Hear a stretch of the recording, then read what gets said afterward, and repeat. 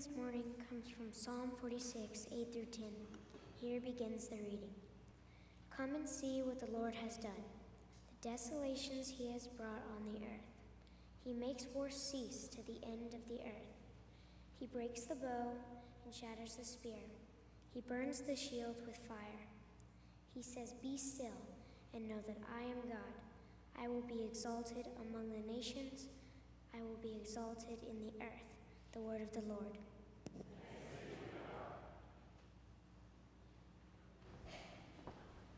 Brody, good job. Thank you, John.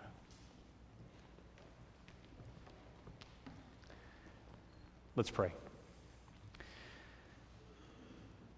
Father, we look to you now and we ask that as you promised St. Peter and the rest, that you would continue to feed your lambs, feed your children, your church, through the Holy Word.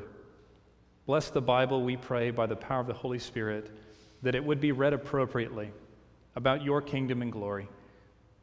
Bless me with the Holy Spirit gift of preaching, and bless your church to be a people who perceive the Word of God and who hunger for it, who rejoice at righteousness and truth. And we pray in the name of Jesus that the Word of Christ would dwell in us richly and produce a harvest of righteousness for your kingdom. We ask this all, Father, under the power and mercy of the name of Jesus. Amen. Well, this Sunday is obviously uh, the closest one to the 4th of July, and you, as a pastor, you have to, if it falls on a Wednesday, you have to say, now, is next Sunday going to be the 4th of July Sunday, or is this one? And clearly, this is it. And the 4th of July is uh, just as a, as a person, as a, as a dad and a, and a guy, the 4th of July is one of my favorite holidays. Uh, I love the summer. I love to go boating, barbecuing. So I have a kind of a, a hop in my step today, and I love all the red, white, and blue. But with all that said, my job as your pastor is to not preach the gospel of the United States of America, but to preach the gospel of Jesus Christ. And so, with a love for this nation, this morning, I'm called and to lead us through looking through three different texts and three different angles of how God works in and through nations, what it means to have a country actually be blessed by God, and what we're called to do as ultimately citizens of God's holy kingdom, which will have no other kingdom rival, rivaling it. And this morning, I want to draw our attention to something we have in our sanctuary present with us every Sunday to my right, to your left, is the American flag. The American flag is in the sanctuary of God Almighty, not because we worship the flag, and it's also inappropriate, I believe, to take it out of the sanctuary. It is a reminder that our mission field, where the Christ, Christ Church for us is called, to this country. For us to always have an eye on the field where we're called to go harvest, to always know the context to which we're called to preach the gospel of Jesus Christ. Christ's holy church, whether in this country or in China, North Korea, may we always be awake and mindful of the nation that hosts us. May we be excited. May we take advantage of all the blessings, in this case, the mountains of blessings. If we don't like the United States of America, try to succeed anywhere else in this, in this world. Amen. But at the same time, to not be wooed, sedated, hypnotized by the fruit of this land so that we no longer can speak a word of Christ to her. You see. That's the beauty of being in Christ and being in a fruitful land. So today we look at three different sides of what it means to be in God and God's relationship to the nations that He has established. And the first thing I'd like us to, uh, to consider there's a, a word from Acts chapter 17, beginning with verse 24. And St. Paul says something very interesting. The first thing he says is, The God who made the whole world and everything in it is the Lord of heaven and earth, and does not live in temples built by hands. He's not served by human hands as if he needed anything, because he himself gives all men life and breath and everything else. From one man, he made every nation of men that they should inhabit the whole earth. And he determined the times set forth for them and the exact places where these nations would live. God did this so that mankind would seek him and perhaps reach out for him and find him, though he is not far from any of us. For in him we live and we move and we have our being. So, first thing we see in Acts chapter 17 from Scripture is that God made every nation. He wants every nation. He loves every nation. He's called for these things to happen, even the nations we don't agree with. He's got this really cool plan, apparently. He says, I've called for a certain cultural idea of people, diverse upon this land, upon this earth, to be spread out it happened with Babylon and Egypt and Assyria, the Phoenicians. If you go back through ancient history, 10,000 years now of human race operating with nations. And even to this day, nations are sprinkled upon every plate tectonic that God's had on earth, from Africa and all the nations in Asia and the Americas. And God says, Why did I do this? Why not only would I say, I want Paula to live today and not 100 years ago, but I want her to live in this nation, in this geographical location, with this nation speaking this language, English. Why would he do that? Scripture says God did this so that mankind would seek him and perhaps reach out for him and find him. Well, I didn't know this until I was reading the Bible this week that God has a purpose for the nations. Why would He call for such diversity? Why would He allow for borders? Why would He allow and have wars go on? Why would He allow for rivalries and different people groups gathering up? Why aren't we one big happy family living in one big nation that knows no border? Well, Scripture says there's something about the human race, there's something about our design in Christ that says that we, are, we will most likely come into contact with the Father in a condition conducive for who you are. He said he spread all these nations across the planet. He let people live in them. And by living where they live as they live, the scriptures in Greek says that people would reach out and rub their hand across the holiness of God. That people in North Korea somehow by the mystery and revival nature of the gospel, would reach out in their setting and touch God. We happen to live in a country that has experienced this. Historians call it the First Great Awakening or the Second Great Awakening, which our congregation is a product of, the Stone Campbell movement. The United States of America has been a friendly country to revivals. People argue whether we're a Christian nation or not. I think that's missing the point.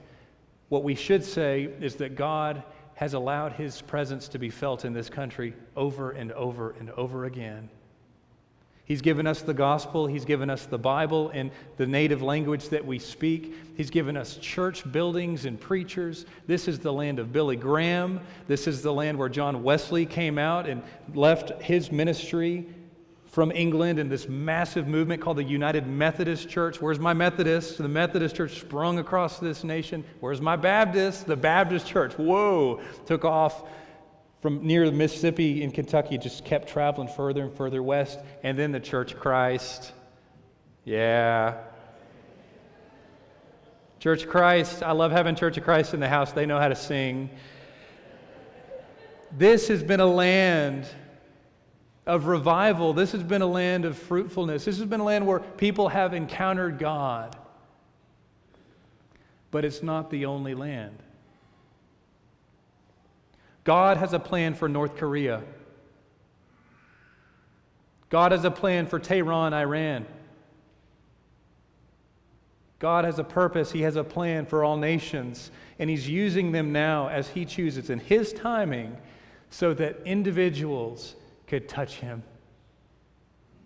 And in his mercy, according to Acts 17, he's the one that saw this, determined this. This was his solution. I'm going to allow for these things to take place. So if you're one of these people that says, Why do we always have to live in countries? Why do we have to build walls? Why do we have to have borders and boundaries and fight wars? Consider, if you will, those are a lesser symptom and problem of something that has allowed such good. God has used these nations, it says, so that men would reach out and touch him. And behold, we have. And behold, it's still happening. If we believe in the gospel of Jesus Christ as the most potent, revivalistic insert into this world, we need to be praying for revival in North Korea. We need to be praying for revival in China, which there is now. We need to be praying for God's love and mercy, His personal presence, not a sermon from Paul, a presence of God to make its way evident and felt in these nations. That's what he says. That's why they ha- this is the purpose of nations, is so that we can touch God. That's number one. The purpose of the nations is built around people to be able to have in their real time, in their real life, an encounter with the Lord in such a way that their hearts transformed. They become a believer in Jesus Christ, and now they're marked forever, prepared for the eternal kingdom, which knows no end. The second thing that we'll wanted to say this morning is found in Psalm chapter 2. And while God created every nation, Psalm 2 points out the fact, points out this weird relationship we have with God that at the same time, God is for nations and against nations. It's similar for me to say God loves you, but he hates your sin. That's for nations and against nations. Psalm chapter 2, beginning with verse 1, says, Why do the nations conspire and the peoples plot in vain? The kings of the earth take their stand, and the rulers gather together against the Lord Yahweh and against his anointed one, Christ. They say of God, Let us break God's chains and throw off their fetters. But God, enthroned in heaven, laughs. And the Lord scorns and scoffs at them. He rebukes them in his anger and terrifies them in his wrath, saying, I have installed my own king on Zion, my holy hill.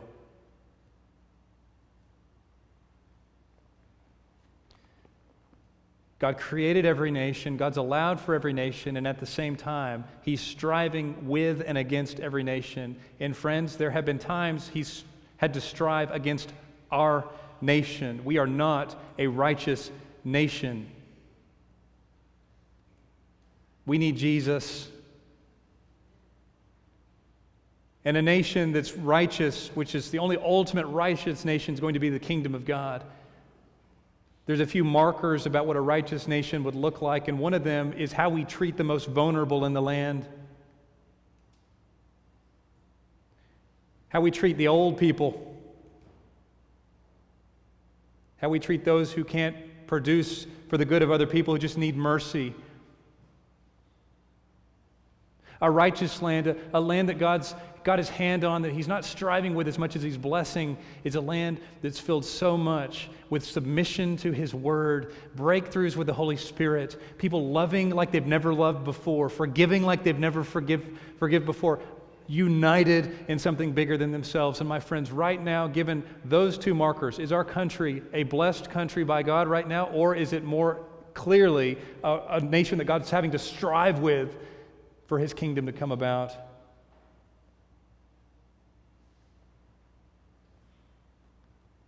Should we even have the word united in the United States of America anymore?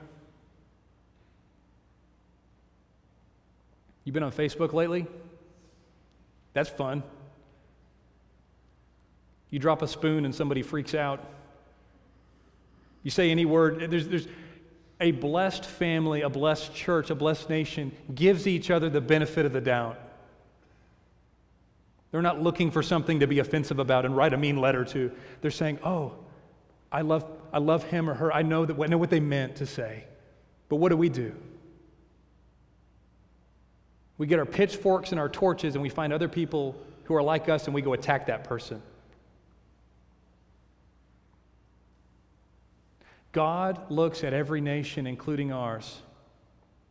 And He's got at the same time this fatherly love. He's going to use this nation no matter what for His glory.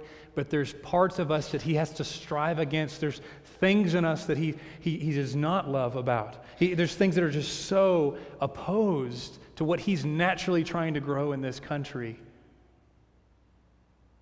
So, number one, we see in Acts chapter 17 is that God has willed for these things to take place, for these nations to be formed. These are good things, they're God's things. He uses them. Number two, God's relationship to these nations are both fatherly love and contentious. And the nation we serve, we love, we're born into, we pray for, we seek revival in, we've seen revival in, we need to be mindful that God doesn't need us, we need Him. We need Him. His kingdom's going to come, period. Which leads me to my third Psalm 33. Beginning with verse 12.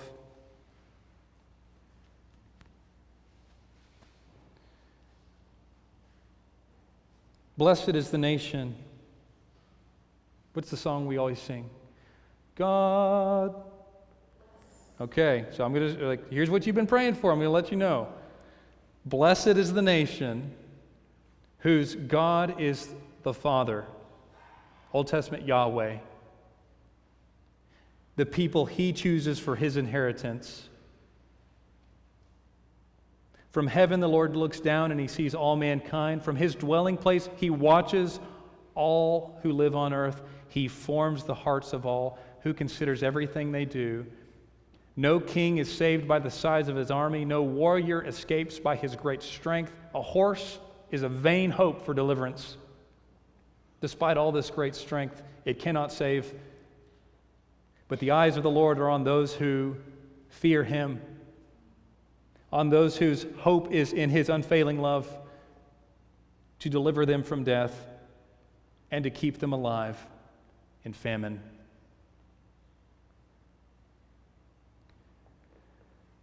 Have you ever prayed for something you didn't really want? God, give me patience.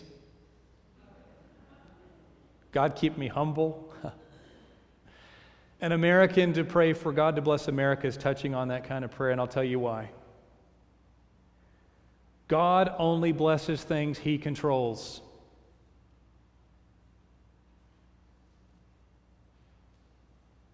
Last week we talked Isaiah or Psalm 86. You're praying for a blessing, a breakthrough. The bigger question is when you punch through that problem to the other side, you can see what your life's going to be like when you're delivered from this illness or from this debt or from this problem. God has a right to ask you, now, how's that going to help you be submissive to me? How's that going to help you walk with my son Jesus Christ better? How's that going to help you love like I love and forgive like I forgive? How's that going to help you? God is asking the same question of our nation. You want me to bless you?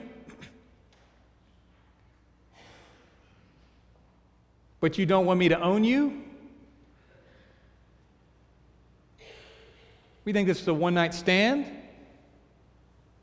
I'm going to give you amber fields of grain and Purple Mountain's majesty. I'm going to, I'm going to give you salvation and money and good crops and peace, and, and you, don't, you won't fear me? You won't tremble at my word? Be careful. To ask for God's blessing is to ask for His sovereign control over our lives. To get baptized into Christ is for you to say, It is no longer I who live, but Christ in me. May God bless the United States of America. And may we know that what we're saying is, may God's glorious word of Christ reign in the hearts of the average citizen so that we don't act like we act, we don't think like we think, we start living in ways that are appealing to God, that are His ways. We're generous, we're slow to shed blood. I don't want to get on big political issues, but some of those are touching on this point. I mean, we have to say, what does God think about X, Y, Z. What does the Bible teach about this? What does the whole counsel of God say on the things that we argue about on Facebook? Because I'm telling you, our nation is not, as we stand, a nation who fears the Lord. The United States of America is not one burning with reverence for God. The average citizen, you don't have to go to Portland, Oregon, or Austin, Texas. The average citizen in Dallas, Texas, even in Lubbock, Texas, you'll find them. Isn't what Scripture talks about. And so, my friends, in this season, we're on the 500th anniversary of the Protestant Reformation. We're at the moment, God's already had three shifts. Here's the fourth, hopefully the last, until the return of Christ. We are entering a season this October 31st, since 515, 17, that's 500 years later. We are at the cusp of a massive tectonic plate shifting where God's going to do big stuff. We're going to watch him do it and testify, but God's going to do big things. And may we be ready to pray for this nation like we should. Not to use our pride in this nation to hate other nations, but to ask that the gospel would be so evident that people would rub their hand across the Lord and they can see their heart. That people would come into contact with God and their lives are changed. This is what it means to bless America. This is what it means for God's favor to roll into this land. May this country experience why God allowed this country to be in the first place. And may Christ's church be faithful to the one who reveals himself when he chooses. May our only hope be in the gospel of Jesus Christ, which is already active under this country's feet. May we as a church pray for God to bless this country, but to bless it like God blesses it. This is a good thing that we pray for those whom we serve, that we love this land. But may God's kingdom be the greatest thing we hope for. In a few moments, we're going to stand and we're going to sing a song that's been kind of the hymn of this country, but more importantly, it's about the hymn of a great kingdom which Christ is bringing. It's unstoppable, you're not that powerful to make it happen or not. No superstition can make it hurry or slow down. But as we rise and we sing the battle hymn of the Republic, may we sing it toward God, asking for His kingdom to come in this country. Let's rise.